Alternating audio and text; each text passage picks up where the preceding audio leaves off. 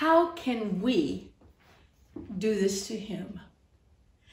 How can we be so unkind, ungrateful, self righteous, and lifted up in ourselves? But never think about him and how we should represent him on this earth. As I was praying about this message, I got to thinking about how we demonstrate our love to God.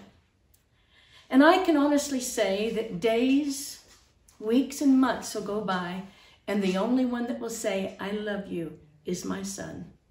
No one else does.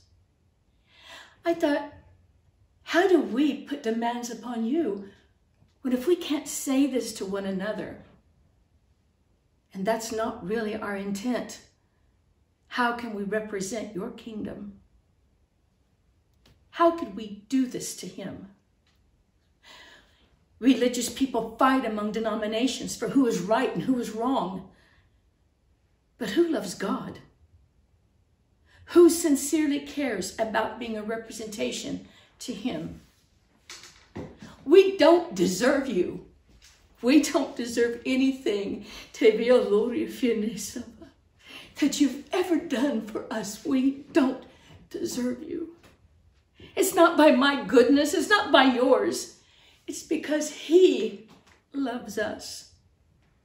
But we can't express those three little words to people that are daily in our life.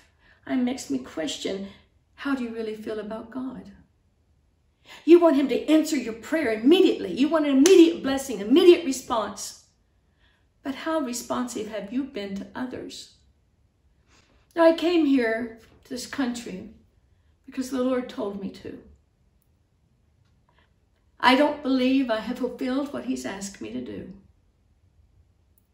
I could make excuse, but I just won't. You see, we're lacking in our society, but not just in the United States, but everywhere true, unrestricted love. You have too much pride to humble yourself and say, I love you. You don't care if somebody in your own house hasn't eaten as long as you do. The selfishness is appalling. So I want to ask this to you, Lord. How could you ever bless us? How could you ever reach a hand of mercy down to all of us who do not deserve it. How could you love us when we don't even have time for you, that you're a bypass word, you're just a, a side idea. We, we boast about how we've got the truth. The truth is, if we really love God, then we must reflect that to everyone we come in contact with and we're not doing it. I think about children today and even in years gone by. I was blessed. I made it a point that when I had my children, I would be at home with them. If I had to babysit, do extra jobs where I could take my children, I was going to do that because I was not going to let somebody else raise my baby. I'm so thankful. No one else did. It wasn't easy. But all I had to do was look into the eyes of the babies that I had given birth to. And all I could say is, I love you, honey. Mama loves you. I love you with all of my heart. And my oldest son would always say, Mama, I love you as to the highest number of the world. And there is no highest numbers because they go on and on and on. And then I insert, I got a nine month stump on you. I got a nine month jump on you. I might be a little bit ahead of you. But we can't let the lack of speaking these words become our character. This is what the world is. They're harsh, they're vindictive, they're ugly, they're hateful. And we allow that because we reflect that same behavior and attitude. We're quick to judge somebody about their harshness. But how much goodness have you shown? What is really in the seed of your heart? God, we don't deserve you. We're not uh, we're not worthy of you. I remember how old I was when my mother first told me she loved me. I was 21 years old, driving in downtown Houston, and Mama said it this way You know, honey, I think I might love you. What an awakening. It was shocking to hear those words because I hadn't heard them for 21 years of my life. But that didn't stop me from loving others. Stop making excuses for your stupidity, for your lack of dedication and consecration unto God. Stop making excuses. I stepped out on this patio and I was going to worship the Lord, and I thought, we don't deserve you. We don't deserve your righteousness and your holiness. We have such a nonchalant, make it happen, preacher, go. And it's no, I won't. I will not let you play with God. As long as I have a voice, I will speak against it. Countries rise against countries, people against people. Dress is different than another when we are so full of ugliness and hatred and bitterness. Why? Why must we be this way? You really don't know him? You really don't know him. Coming to this service today, I thought of a number of things. I thought of our actions and how they respect love. And somebody says, I don't have to tell you I love you because I show you every day. Wrong. That's the mentality of the world.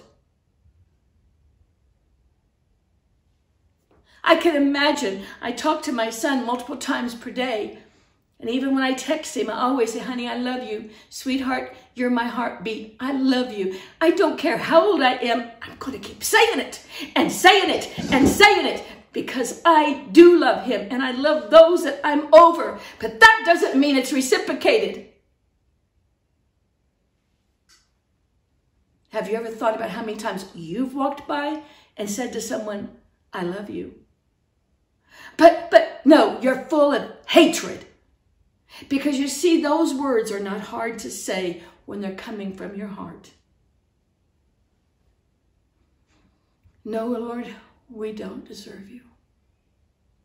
We want to use you, manipulate you, try to control you for our own benefit, but we really don't love you. You took your spirit away from a world because they didn't love you and didn't keep your commandments and they beg and beg and beg for you to return, but I don't see anyone on their face before you asking forgiveness, Lord. Our denominational barriers, our, our racial barriers, our, our prejudices have become so much alive that we should ignore and turn our face from. I don't care how bitter and how ugly and how mean you are. I'm not going to lower myself to be that way. Can't. You've done so much for me. My road has been rough, but never one time did you abandon me. My journey's been heavy, but never one time did you walk out on me. Sometimes I felt the things would collapse, but never one time did you walk out on me.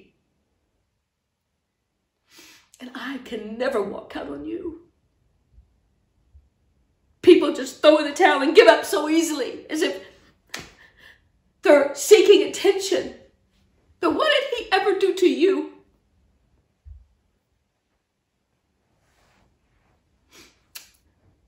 When it came close to the end of my mother's life, I remember her asking this to me. She said, Sherry, why do you love me, baby? Why have you been so good to me? And all I could think of is that that's exactly how God has always loved me. And I said, Mama, I just happen to love you and I see the good in you. That was just a few weeks before my mother breathed her last breath. My oldest son would say to me all the time, Mama, Chris believed in you. To the day he breathed his last breath, he believed in you. But I wanted him so to believe in the God that I love, the God that I adore, the God I live for. That's what I wanted him to embrace, not me. I'm just a tiny little bitty reflection of your mercy, God. I'm nothing great. I'm nothing mighty and powerful, Lord. I am nothing without you.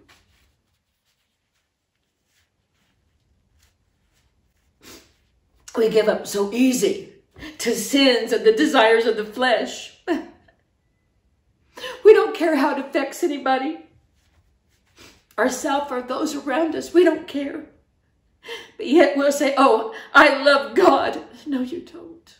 You don't even know who he is. So how can you say you love him?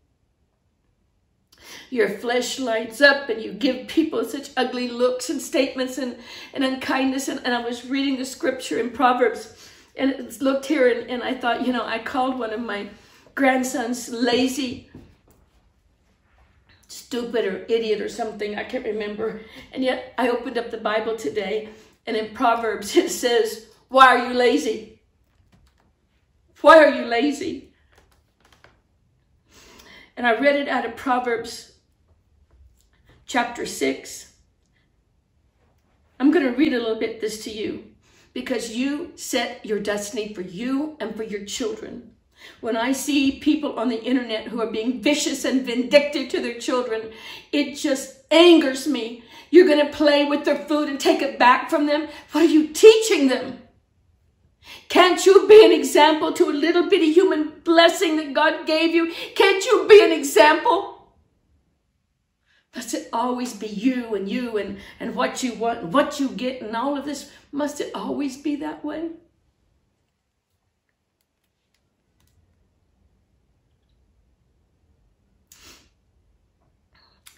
This is verse number four. Don't put it off. Put it off.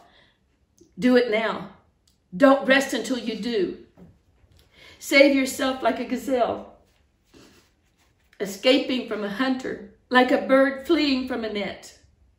Take a lesson from the ants, you lazy bones. Man, this society would actually follow along suit against the Bible because it called them lazy, irresponsible. Oh, we can't be talked to like that.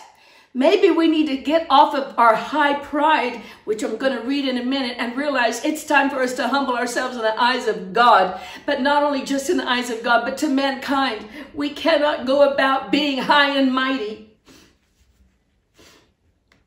So I'm looking at it again. Verse number six. six. Take a lesson from the ants, you lazy bones. Learn their ways and become what Learn their ways and become wise.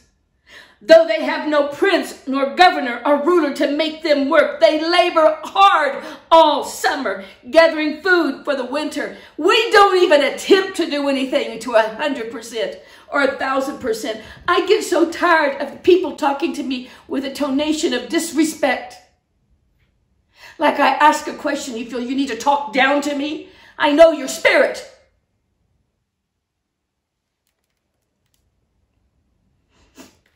I've said to people who are in our group, why am I having to ask you why you're doing this? Oh, I forgot. No, you never had a desire in the first place. You want to get the blessings and the richness of God, but you don't want to pay the price. Some of you know that many of the graphics and stuff that you see is my work. It's stuff that I do. It's, I don't have a team behind me. I do it. I learned to do it. And even on the recent podcast that we're doing, I didn't like something in it. So I said, I'm going to take care of this. Someone says, well, why? I said, because I don't like it. If I don't like it, it's not getting my attention. I'm not going to use it. Don't like it. So I put myself to effort. I worked late last night, well, actually, to early this morning, preparing the classes that I'm teaching on the podcast. And got up this morning, finished up the last little bit on the exports, and now I need to get this thing where it works. And I tried this and I tried that and I worked at it. I worked hours and hours and hours after it. And I told him, I said, I told myself I've learned enough programs. I don't want to play and do another program. I'm 68 years old. I should not be doing After Effects and all these graphic designing stuff. I don't want to do it. But you see, none of you will. And so for the glory of the Lord, I will do my best. And about 30, 45 minutes ago, before starting this service, I figured it out. You see, when you give up, you are a failure. But not only to yourself, but to everyone that you interact with. I'm so sick of people wanting relationship, but they don't want to pay the price to better their lives, to build a positive relationship. All they want is sex. You can't be your best do you think God finds pleasure in knowing that you profess to love him and now you're laying with some guy or some girl and, and having sex outside of marriage? Do you think that he's finding great a benefit with you? Or do you think he just walked out and shut the door? He walked out and shut the door.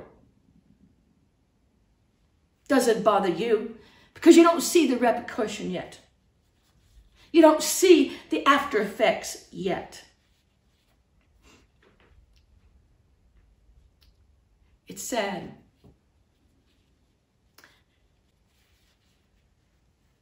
We want to member, whimper and cry and complain, but we don't want to change. It says nobody stands over them, makes them work. It says, though they have no prince or governor or ruler to make them work, they labor hard all summer gathering food for the winter. But you lazy bones, how long will you sleep? I'm so sick of somebody saying, I need my rest. I tell you what, when I die and breathe my last breath is when I'm going to die. I guess it kind of goes in that order. I'm going to get a lot of rest, at least for five seconds before I stand on the other side of this glory to be in the presence of my King. But my body will have plenty of energy. I get aggravated at myself and, and frustrated because I want to be further along in my walking than I am. And although I get behind that wheelchair and I'll push it for a distance, sometimes if I've not had a lot of sleep, I, I can't push it far. But I still try to make the effort. I'm not going to just say I'm not going to walk anymore. Maybe my balance isn't the best. Maybe I, I'm unstable, but I'm still going to do what I can. One day, I'll walk really good again. But until then, I'm going to keep trying. When I sit down to work that graphics program this morning, I couldn't figure it out. I got on the internet, I asked some questions on how to do it and came up with all these bunch of different answers. And this internet's not really much better than the previous apartment, but at least we're getting something done. I looked and I asked a question. I watched a video. I looked, asked another question. I, I couldn't figure it out. I just couldn't figure it out. I didn't want to spend a lot of money on something that didn't feel like would work. And I don't have a lot of money. But I don't have money to pay somebody to do it either.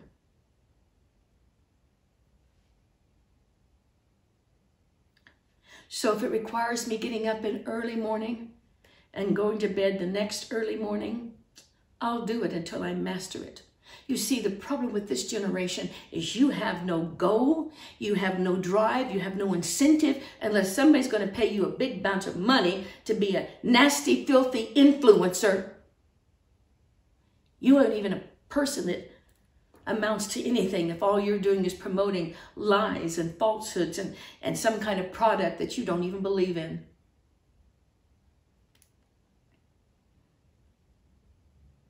But you lazy bones, how long will you sleep? When will you wake up? A little extra sleep, a little more slumber, a little folding of the hands to rest? Then poverty will pounce on you like a bandit, scarcely will attack you like an armed robber. What are the worthless and wicked people like? They are constant liars. Do you hear me? If you don't be true unto God, you are a liar. You want to run around talk about how many people you got baptized, how many people attend your church. You don't live the life. You certainly don't preach the word. So you're a liar. And you want them to follow you. Fortunately for you, unfortunately for the rest, you're just leading them into a devil's hell. I don't have any very, as I say, kind words to tell false teachers and preachers. You don't want to know the truth. Somebody provides for you information and you immediately reject it. You just show who your servant is. It's Satan. Satan doesn't want you to keep the commandments of God. He wants you to do all these things that you're engaged in. So therefore your pride raises up and you will not change.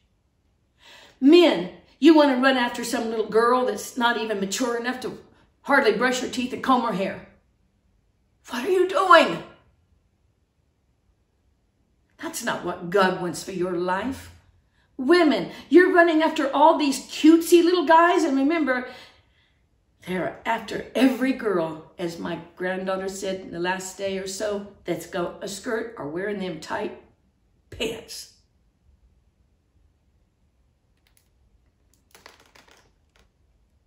Says you are worthless and wicked people. They're constant liars signaling their deceit with a wink of an eye, a nudge of the foot, a wiggle of fingers. Their perverted hearts plot evil. My mama always taught me, and I'm still very much a strong believer in this, don't whisper in the presence of others people. Do you know why that is? Because that's a sign of a wicked and deceitful person. If your conversation is so private that you have to whisper in the presence of other people, then you're wicked, you're perverted, and you're twisted. Because if you're transparent, there would be no whispering when others are present in the house. That is one act of rudeness that I cannot stand.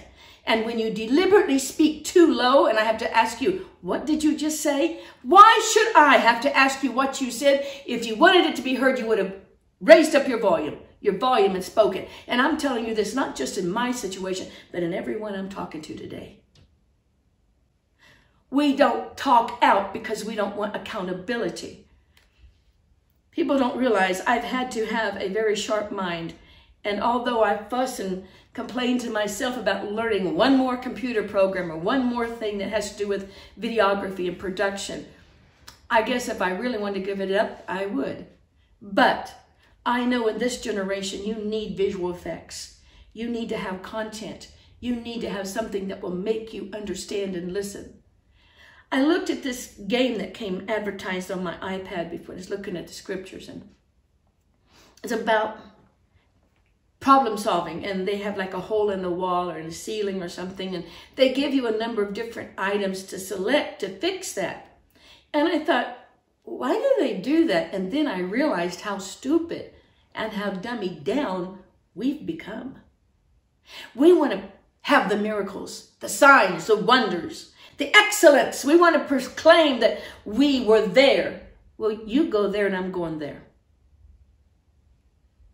Your motive's not right. Your heart's not right. So says, they will be destroyed suddenly broken in an instant beyond all hope of healing. Why? Because they will not do anything but stir up trouble, because that's what that says before. Let me go back up here a little bit. Signaling their deceit with a wink of an eye, a nudge of the foot, a wiggle of the fingers. Their perverted hearts plot evil, and they constantly stir up trouble. But they will be destroyed suddenly, broken in an instant beyond all hope of healing. So go ahead and play your games. I'm surprised that you feel that you're invincible. when you're not, and neither am I. You see, my day consists of being in his presence, of him approving of my life. But looking at verse number 16, these are six things that God hates. No, seven he detests. Haughty eyes. You think you're so great, mighty and wonderful, powerful. That's what you think. You're beyond touching. You're superior to the rest. Might surprise you, but how I treat people does not depend upon their ethnic background, the country they're from, the gender.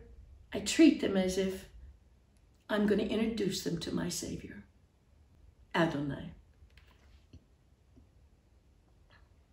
A lying tongue. How many times have you lied? You know, these are things that we need to be repenting of on a regular basis because some of us have become such habitual liars. It's appalling at the arrogance and the pride. And don't you dare call me out on it because I'm just going to flare back up at you. That's why I do the things that I do. I'm not ignorant and stupid to what goes on. I'm quite aware. A heart that plots evil feet that race to wrongdoing. These are the things that God hates. You can't wait to get out there and go partying. Woo! You know what? That's the one trip you don't need to be taking. You make excuses for your alcoholism, your drinks.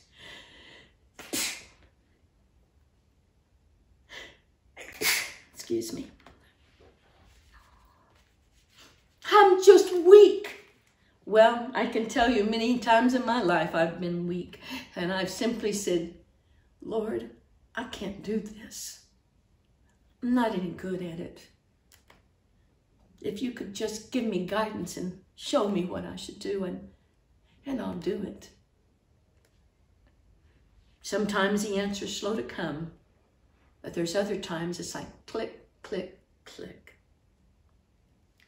A false witness who pours out lies. I cannot tell you how much it infuriates me to be around somebody who's bold enough to slap your comments out, but not man or woman enough to make a reflection and say, oh, I did say that. You don't want to be offensive, then why do you say it? If you have something that you need to say to someone, then simply sit down and say it. And if they're so immature and adolescent that they've got to throw a fit, well, that just shows you what spirit they really have been of. A false witness who pours out lies, a person who sows discord in a family. God gave us a beautiful gift of life, a family, children, in the right order. And we toss it to the curbs we don't want that commitment. Let me tell you something, ladies. You go and have a baby. You're in three years of lockdown. And that's what you have to live. Lockdown and stop feeling like you can set this baby on the side and do your own thing. You're not ready for a relationship of maturity. And neither is that man. If you look at how the man has treated his children, it's appalling to God. A father who cannot be interactive with his kids and tell them how he feels about them is a shame in the nostrils of God. How dare you? How dare you say that you're a dad when you can't even express those things and talk to them in love and kindness? You give more correction than you give support and love. And then when our child picks the wrong road, Instead of us stepping in and trying to keep him from being destroyed, we just step back and let him be destroyed. I can think of incidents in my life where that's been the recourse of the adults in these young people's lives. And I want to say, God holds you completely responsible. At some point in time, we might want to find out who we really serve and serve him only. My son, obey your father's commands. Someone said, my dad wasn't a spiritual man. My heavenly Father, Hashem Adonai, is my Father. And he is perfect. Absolutely sensational, amazing. He don't shake and he don't quake. He's just got it to the right line. And don't neglect your mother's instructions. If I've told you, son, don't be with that person, don't you go around behind my back and be with that person. If I've told you one thing, I've told you a million times, don't do it. But you go do it, which says you despise the instructions, but you sure like the financial benefit. And that's not directed in my child alone. That's directed to all young adults. And let's let's come on, get get some reality in this service today. I could have come in here and sang and worshiped and, and all of that and made you really acknowledge the Lord, but this is what you need is good down home outright teaching. Keep their words always in your heart. Son, always keep my words in your heart. And mama said, don't, then don't. Don't figure out how you're going to get around it and then go through all the emotional upheaval because of what? Because you choose not to do that which is right. Come on, young people. I've always said, God must have seen a purpose for me to live because I lived through a whole lot of things I shouldn't have come through. But I'm still here. And as long as I'm here, I'll still have a voice to tell you how to live for him. It says, tie the words around your heart, tie them to your neck when you ask, their counsel will lead you. When you walk, their counsel will lead you. When you sleep, they will protect you. When you wake up, they will advise you. For their command is a lamp, and their instruction is a light. Their corrective discipline is a way to life. Young people today say, You're not going to tell me what to do. I'm grown. By your actions, I would never know it. You can't support yourself financially, so you're going to go get involved with a relationship? I don't get it.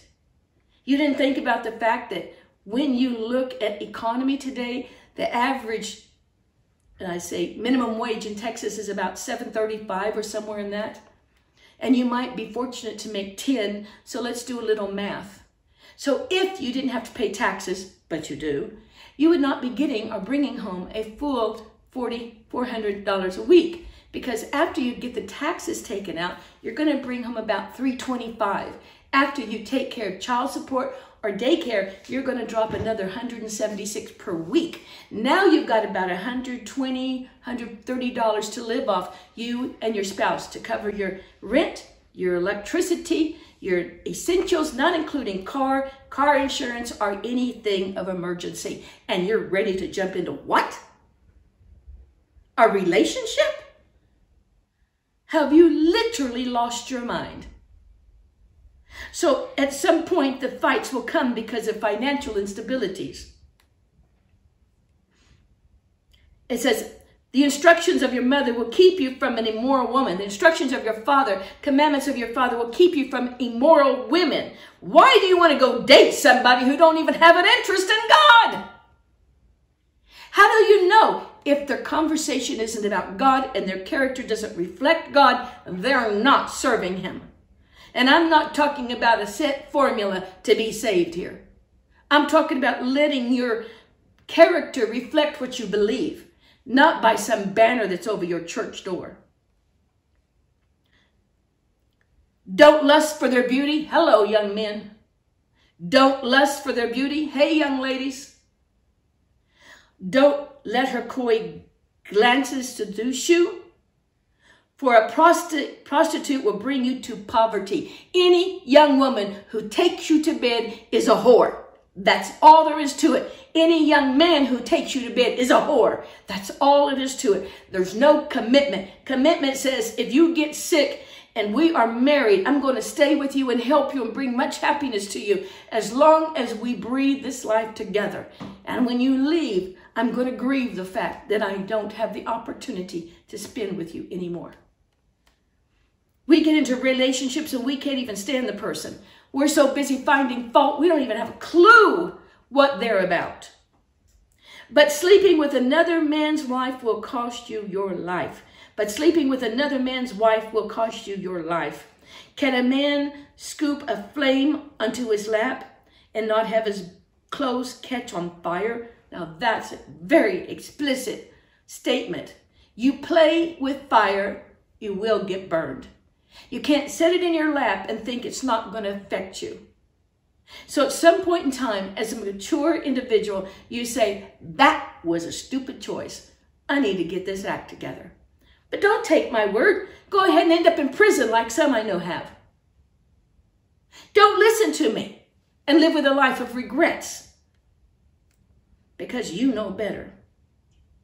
Can he walk on hot coals and not blister his feet? Can you tangle with the fire? Can you hold a match to the very end and not move it to see whether it's going to burn your fingers? Are we that stupid? And yes, I did say, are we that stupid? So click that send a notification of I called you stupid. Because if you're doing this, yep, I just did. So is it with the man who sleeps with another man's wife? He who embraces her will not go unpunished. Excuses might be found for a thief who steals because he's starving, but he that's caught must pay back seven times what he has stole, even if he has to sell everything in his house.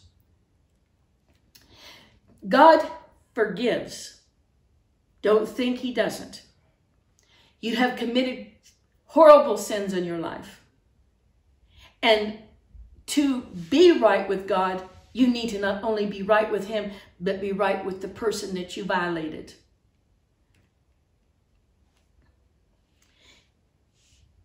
It says even if he has to pay back everything seven times in his house. I have people right now who owe me a tremendous amount of money, but make no effort to take care of it. I'm over here spending $1,500 a week to be in this apartment to do what we're trying to do for God. And I don't get no financial help from anybody. No one. And no one really cares. Now tell me how scary that is. And you want to tell me you're about the service of God? And when I bring it up to you about the finances, it's always about money. You know, you just showed how shallow you really are. Because anybody in their right mind who knows I came on this place as a mission to do a work for God will know I didn't use your money. But it would only seem right that I shouldn't have to ask you, beg you, plead you, but that you would sit down and go, you know what? I can push back from the table and I can go without some meals and see if I can't help them on what they're there to do. But nope, we can't do that. And I want to go another step further. Any man who does not find out what's going on in his own house finances is not a man. Did you hear what I said? It's your responsibility as head of your house to know what's happening with your check and where it's going. And if that woman does not give you that information, she's a thief. And for you not having an interest in it, you're worse because you taught your children how not to be accountable.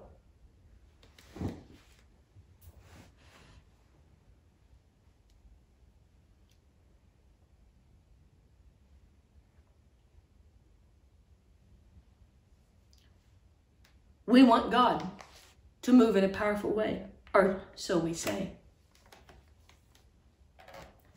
I'm going to lay it out here and make a true confession. I think it's worthy. No one in my church, and I repeat, no one in my church has gone to their face before God and asked him to move among the people. No one. And as I've laid in my room and I've prayed and sought him, I realize today how much we really don't love him. Does he deserve my least are my best. I haven't seen any tears shed for the people outside these doors. We all want to see this great mighty move of God. That is a lie. No, we don't. I see no sincere prayer. Well, I don't pray in front of you. I watch your actions and you don't even live in front of me. So let's not even play that noise. It's all about you, your desires, your wants, what you want to see happen. And I'm going to straight, say this straightforward to all of those who sit under my ministry. I will not make a mockery of God by allowing half-hearted, insincere individuals to stand by me anywhere. So you see, it's not pastor doesn't want, it's pastor's been watching. And what I see, I don't like. I want this world to know him more than anything in this world. I want them to know what it's like to experience his presence. Not because I want to be great, because he deserves to be the greatest. Pastor, go do your thing. Mm -mm. God is not a puppet on a string. He's not somebody you toy with and play with. He is my Redeemer, my Savior, my life. And I would much rather leave this life than bring him shame.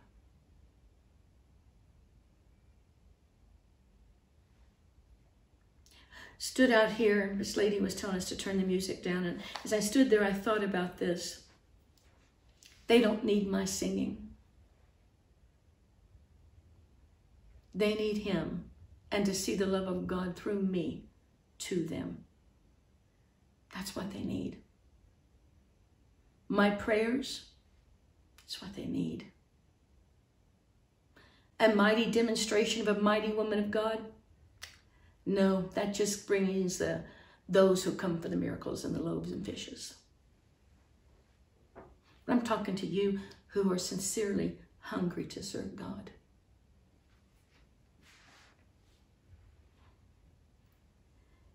As I said here before we started the service, I thought about a song, a chorus that we used to sing many years ago.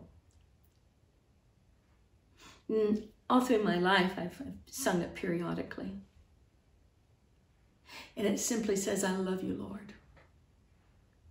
And I lift my voice to worship you. Take joy, my King, and watch you hear. And let it be a sweet, sweet spirit to your ear.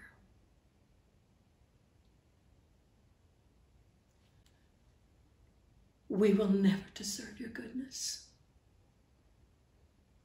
We will never deserve your righteousness. But Lord, make me the vessel that you need to use.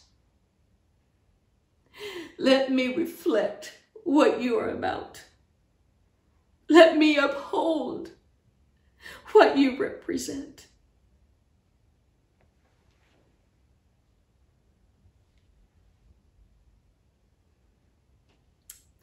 I had a great grandmother that I was blessed to know for a few years of my life. And I remember at her funeral, this is what they said.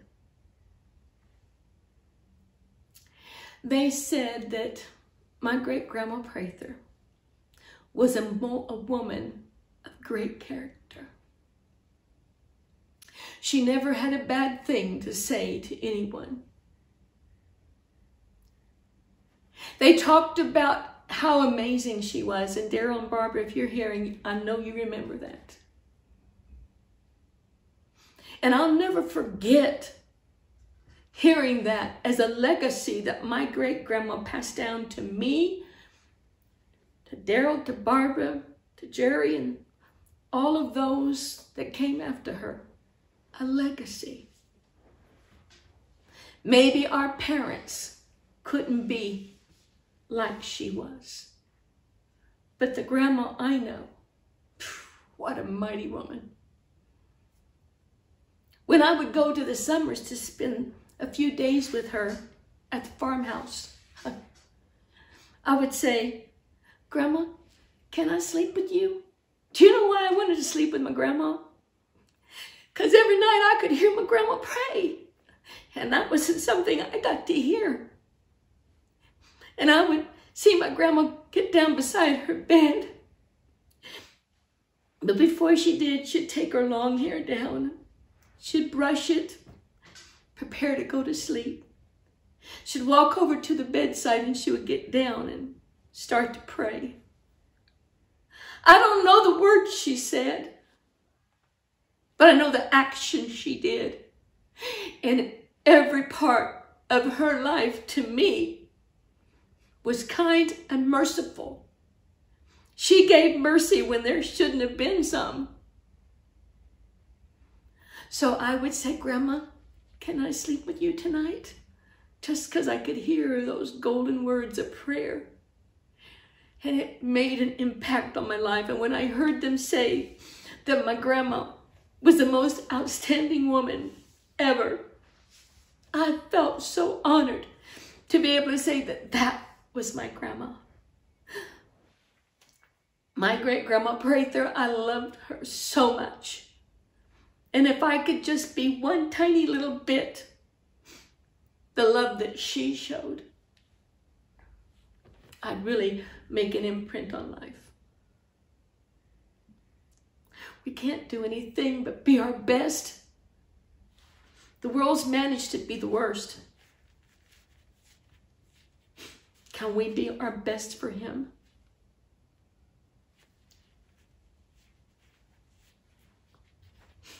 Before I close, I am going to pray. But this is more so for me talking to Him than for you to listen to me pray.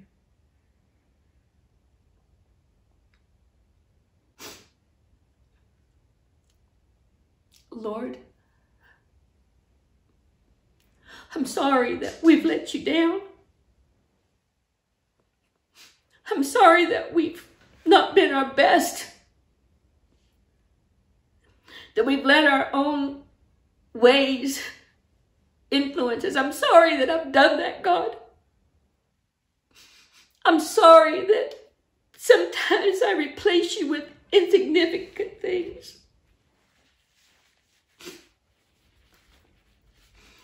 God, if you don't ever bring your spirit back to this world, I will not ever be angry with you because I don't deserve it.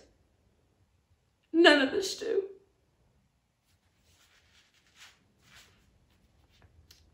And in all of my humanity, I will still strive to be my very best for you, God.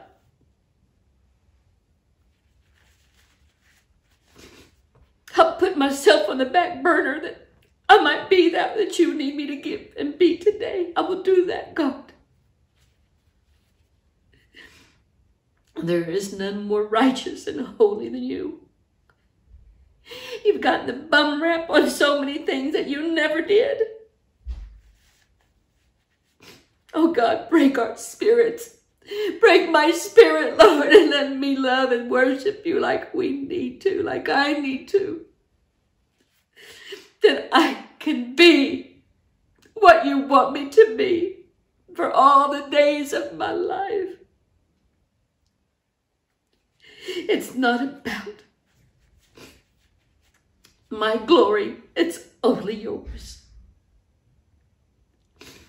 Oh God, help my tongue and my attitude to always be reflective of you. Oh, please, God.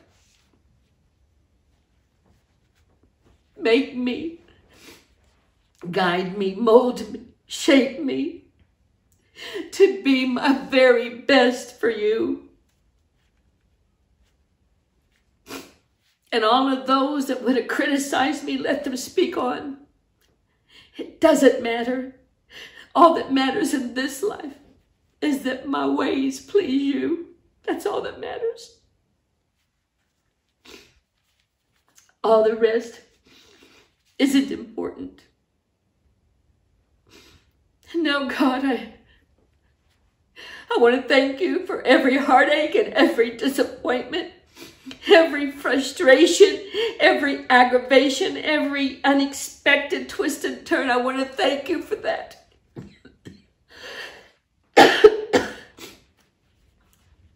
Because I am who I am today. Because you never gave up on me. Never. And I know, Lord, you're not giving up on humanity either. They gave up, but you're not giving up on them. I ask you, Lord, let me be a testimony in this here city. Let me bless those that I come in contact with with kind words and gestures of love and kindness and understanding. Why must there be war? Why must there be terror? Why must there be hatred? If it needs to start with one person, Lord, let it start with me. Let it start with me.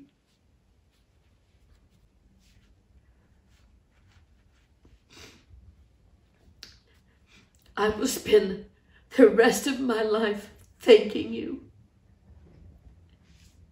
for all that you've done for me and I will never be a quitter. I can't. You see, I give up isn't in my vocabulary. Hanging on is, but not giving up. God, help me, please, to do what you want me to do in this life, in this time, in this place. Help me, please. And all of those today, Lord, that are listening, Please go into where they live and talk to their hearts. The young woman that I know is facing death without God. There's nothing more heart-wrenching than that. And I'm way far from where she's at.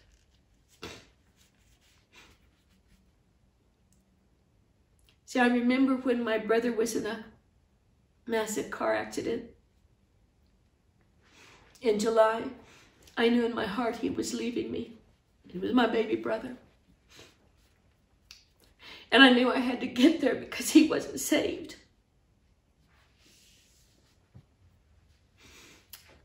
So I went from Oklahoma, drove to Dallas, got on the next plane that I could to get out of there.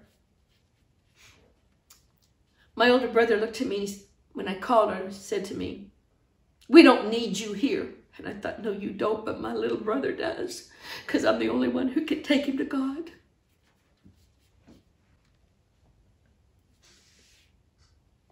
I got there, called to the hospital. My brother was in ICU on a machine.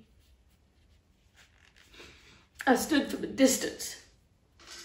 And I prayed for him. I wanted him to be saved because he was going to leave me. I wanted to make sure his eternity was secure.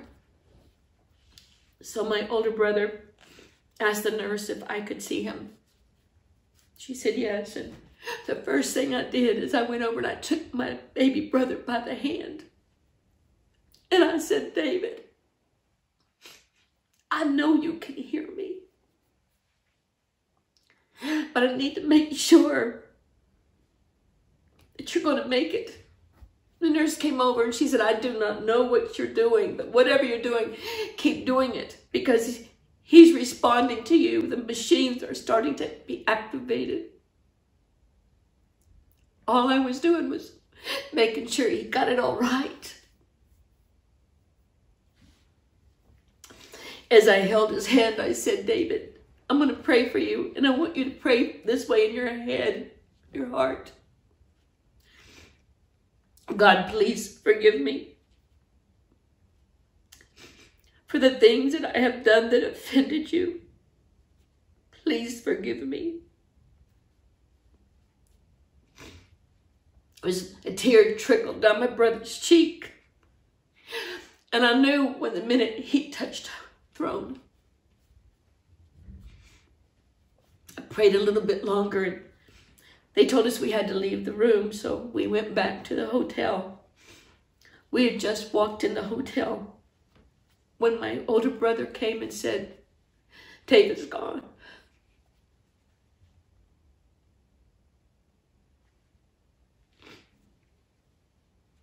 I was so glad. The last thing that came out of his mind and his heart was knowing that God had forgiven him and that he was going to be okay.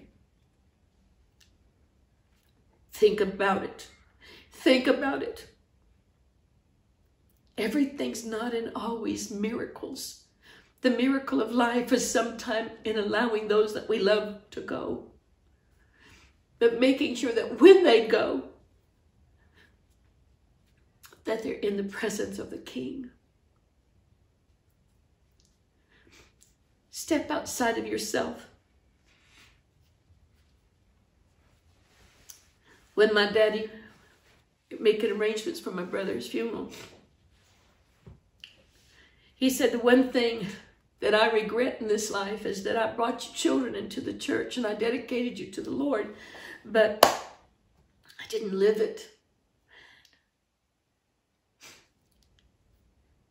And he said, now, I can't get this right.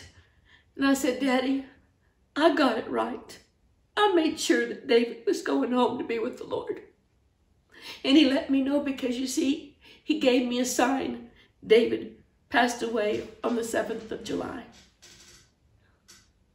Wow. So I told Mama, don't be angry at God.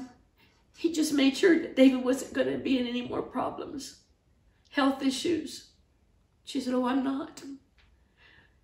Letting somebody go is the hardest thing a person ever does. But to make them suffer through pain is more, I think, treacherous than imaginable.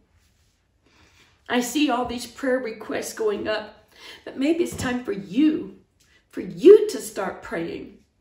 For you to take your loved one by the hand and not tell Facebook, people you don't even know, to pray for you. Maybe that's what you need to do.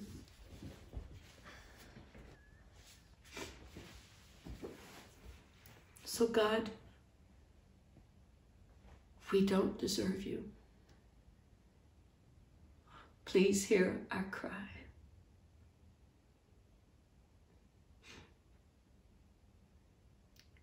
I hope today you've given some thought to what I've been saying.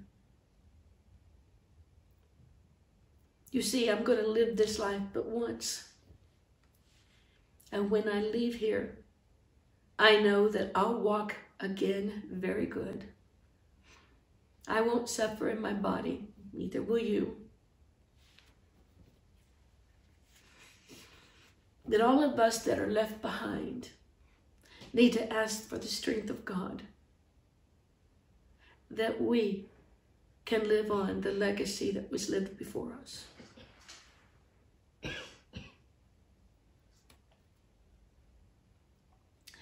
Thank you for taking the time to watch this message on the Sabbath day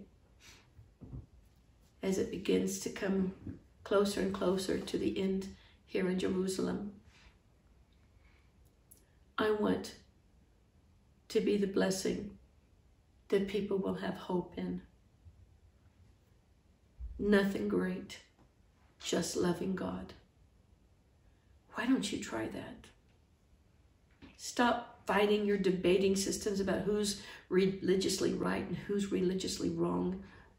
Why don't you first find a relationship with God before you continue all that? It's not the number of people you baptize or those who speak in tongues and have the Holy Ghost or don't or get christened or whatever the ritual is that your church goes through. Your relationship with God is what counts. Let's all get a relationship with Him today and be our best and do our best to serve Him. Thank you. May God keep you.